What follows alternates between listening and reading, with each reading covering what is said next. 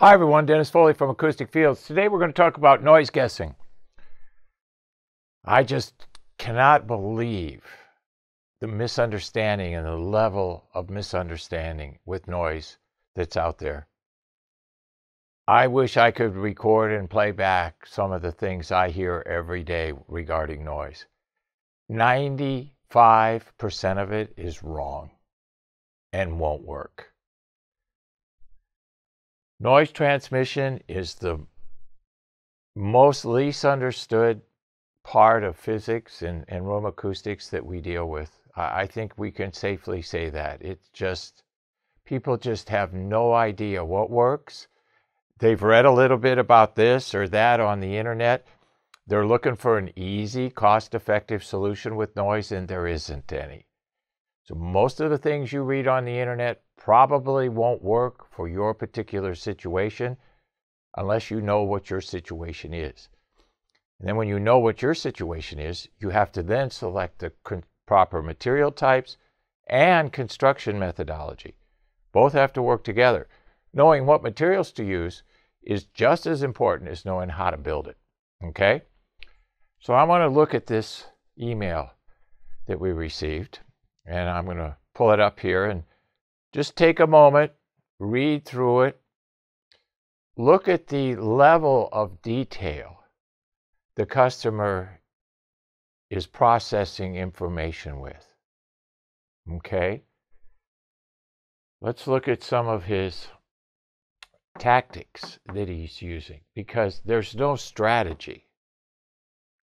If there was a strategy, we'd have numbers. We know what we're fighting. We know how big the enemy is, how many people it has that we have to fight.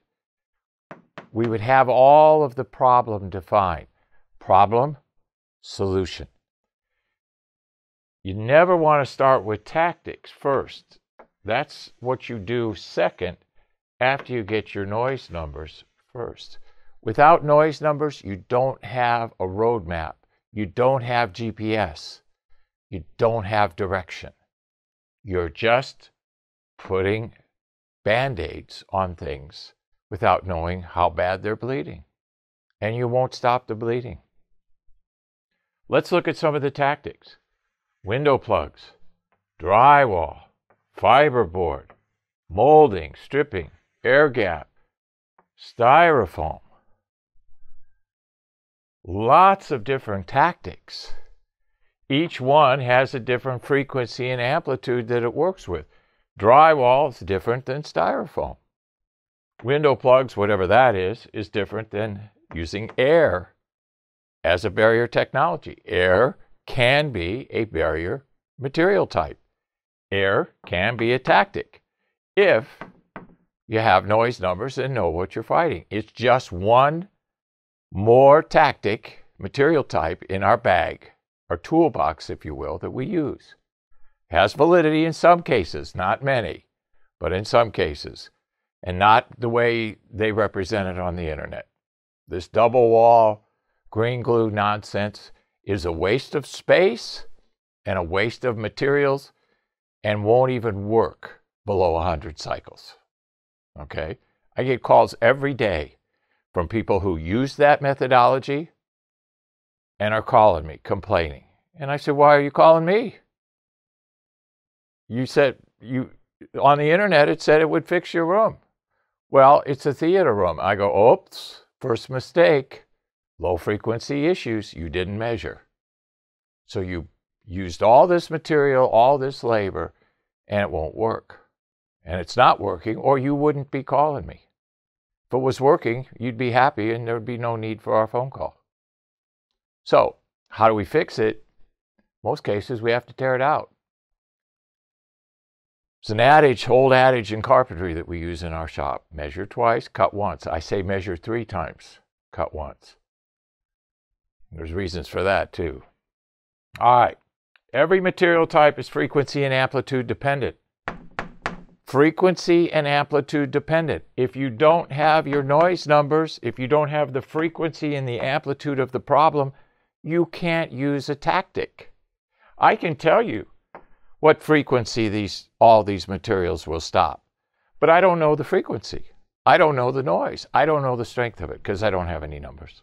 Okay? No numbers, you're guessing. Guessing with noise is a fool's game. You'll guess wrong every time. I even guess wrong sometimes. I've been doing this 40 plus years. What chance do you have? Zero. Measure, measure, measure. Once you measure, I can solve your problem in five minutes and send you a drawing of what to build, and I'll guarantee it that it'll work. No guessing. If you do the numbers right, if you don't, you do them over and we'll get it right the second time. It's no problem. But we need a map to run on. We need we need a, you know, GPS to guide us. Physics is the law, everything else is a suggestion. Remember that. Physics is the law, everything else is a suggestion. This is all a suggestion. And 80% of it won't work. Okay?